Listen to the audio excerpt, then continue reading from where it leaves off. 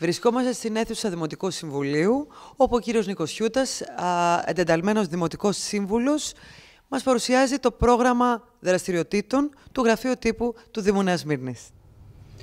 Ε, όταν ο Δήμαρχος μου πρότεινε να αναλάβω το Γραφείο Τύπου, ε, θα έλεγα ότι ίσως να με εξάφτιασε λιγάκι, ε, γιατί από ό,τι γνωρίζετε η βάση μου είναι η εκπαίδευση Όμως με χαρά το δέχτηκα και αυτό γιατί έχω μία πορεία και στα μέσα μαζικής ενημέρωσης.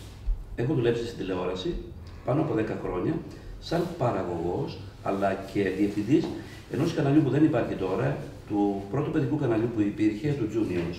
Α, ήμουν παιδί, το ξέρω. ναι, ε, διευθυντής προγράμματος, καθώς επίσης ακόμη και υπεύθυνος δύο εκπομπών που θα έλεγα ότι πήγαν πάρα πολύ καλά τα παιδικά χαμόγελα που είχαν μεγάλη τηλεθέαση και, τον, και οι γονεϊκές συχνηλασίες που είχαν προέκταση ε, της, ε, ε, της επαγγελματικής μου ενασχόλησης, δηλαδή με ψυχολογία και πληροφορίες στον τομέα της ψυχολογίας και της παιδαγωγικής για τους γονείς. Έχουμε κοντά μας τον κύριο Νίκος Σιούτα, Δημοτικός Σύμβουλος και τεταλμένο του Γραφείου Τύπου και Δημοσίων Σχέσεων του Δήμου Νέα Μύρνη.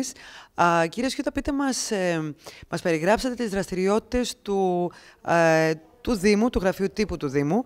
Ε, ποια προστιθέμενη αξία θα έχει αυτό για τους πολίτες και για το δημοτικό έργο; Πάρα πολύ καλή ερώτηση. Αυτό το οποίο θα ήθελα να πω εγώ, κοιτώντας τους πολίτες της Νέας Μύρνης στα μάτια. Μας ενδιαφέρει η ενημέρωση και το γραφείο τύπου θα έχει ένα κεντροποιημένο σύστημα ενημέρωσης και θα προσπαθήσουμε με κάθε τρόπο η μικρότερη, που θα είναι μεγαλύτερη σε αξία είδηση, να φτάνει σε κάθε πολίτη μας. Και αυτό είναι σημαντικό. Και θα πρέπει να πω και κάτι άλλο ακόμη. Ο Δήμος Νέας Μύρνης παράγει πολιτισμό και είναι γνωστό σε όλους. Αυτό το πολιτισμό εμείς θέλουμε να περάσει μέσα από την διάχυση της πληροφορίας στην καρδιά των νεοσμηνιωτών. Αυτή είναι η προστιθέμενη αξία που θα ήθελα προσωπικά να δώσω στον τομέα ενημέρωσης και προς τους πολίτες της Νέας Μύρνης. Περιμένουμε να τα δούμε λοιπόν. Ευχαριστούμε πολύ. Και εγώ ευχαριστώ πολύ. Να είστε καλά. Για τα σχολεία, τα δημοτικά και τα γυμνάσια, αλλά υπάρχουν, υπάρχουν και άλλοι φορείς. Το Εράσμος πλέον περιλαμβάνει τα κομμένιους, περιλαμβάνει όλα αυτά τα πράγματα.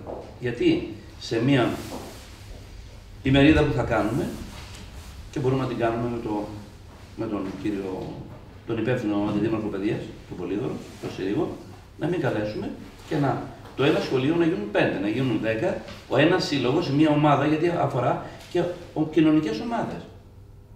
Το γραφείο τύπου έχει και τέτοιες αρμοδιότητες. Θέλει να επεκτείνει τη δράση του και σε αυτό το τομέα.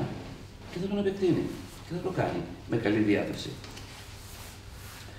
Ε, έχω αρκετά πράγματα εδώ που δεν χρειάζεται να τα αναπτύξω όσον αφορά ε, την, το τομέα του διεθνού. Από την αίθουσα Δημοτικού Συμβουλίου, για το nstv.gr, Ελπίδα Μεναδάκη.